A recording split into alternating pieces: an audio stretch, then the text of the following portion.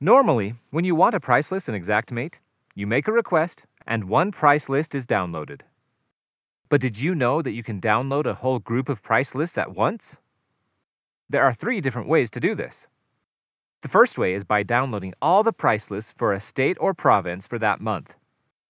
Just a quick reminder price lists update monthly. Here's how you do that in four simple steps. Step 1 In the Price List Request window, select City from the dropdown. Step 2 Choose a state or province, but don't select a city.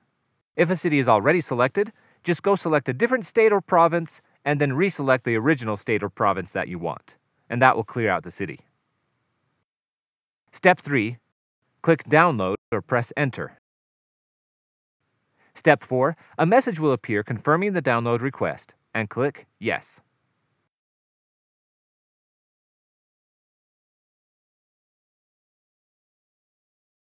Okay, now anytime you go to your price lists, you'll have all the price lists from that state or province for that month. Now, let's say you don't want all the price lists from an entire state or province, but you do want price lists from a bunch of different areas in multiple states. You can do that by requesting price lists from multiple zip codes at once. There are only three steps to do this. Step 1 Choose zip code in the Price List Request window. Enter multiple zip codes separated by commas, here.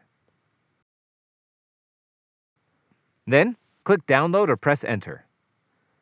Now the current month's price list from all of those zip codes are downloaded to your profile.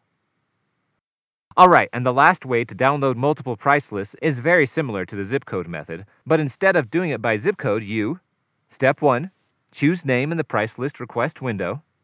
Step 2. Enter multiple price list names separated by commas. Now, remember, price list names are as follows two letters of the state, two letters of the city, X8 underscore, and then the month and year.